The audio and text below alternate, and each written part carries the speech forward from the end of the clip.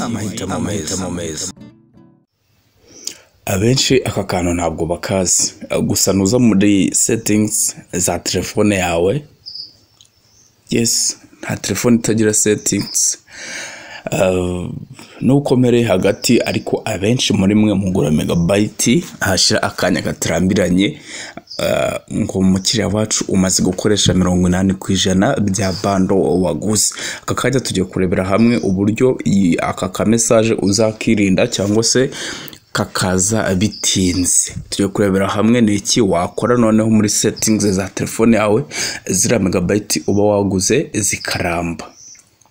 Ngaho rero banguka muri settings za telefone yawe uza hano haba handitse ngo simcard and mobile network.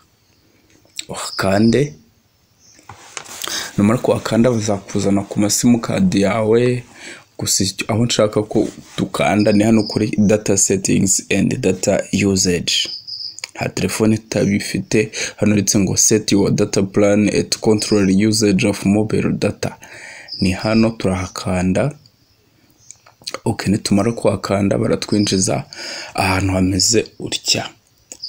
Ndagira ngo urabona ahantu handitse ngo set data plan. Gusa siho nshaka ko dukanda ahubwo turakanda kuri data saver. Urabona hari off. Data saver mu kinyarwanda urumva ni uku ni ukurondera uh, megabyte cyangwa se kuzi kugabanya uburyo zaba zikoreshwamo. Turakanda rero on.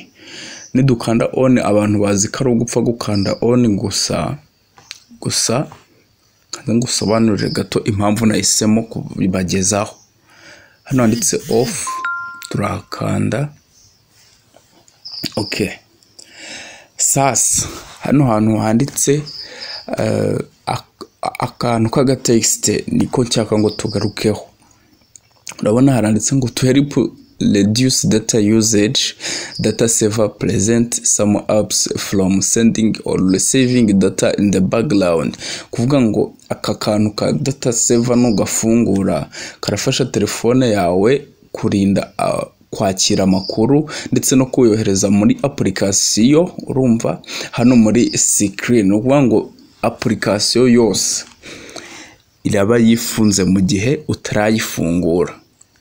An app you are currently using can access data uh, but many do so less frequently. This may mean for example that image don't display until you tap them. Ngo application gusa ufunguye ako kanya niyo iratwara megabyte. Niba ndi kuri facebook niyo irantwara megabyte za notification za whatsapp ugenda ubona ngo uzayanditse message wapi ntabwo uzibona. Bimwe byo mu whatsapp groups aho amafoto aba yidownloadinga ntabwo ishobora kuyidownloadinga mu gihe utayikanzeho ibi rero ni byo bizatuma megabyte zawe ziramba kuvuga ngo za notification zituruka kuri za Phonex ntabwo uzongera kuzibona kuko ziriya ziba zitwara megabyte.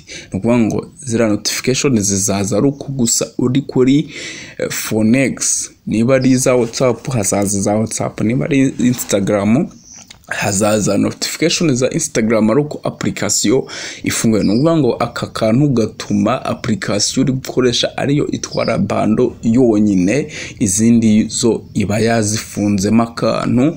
Niyo mpamvu nari nagize ngo aka kantu nkabagezeho nk'abakunzi ba jet htty tv mu gihe free internet iri kuba ikibazo. Turi dukoresha eh, data saver mu gihe turi gusevinga eh, megabyte zacu twabashije kwigurira. Urabona nuyifungura hari akantu karaza hejuru kameze nk'ak'umuriro ya kariya kantu gusa. Hari n'abo telefone zabo karazamo kameze nk'agafunguzo. Umukunzi wa jet htty tv rero ukomeza ugubwe neza.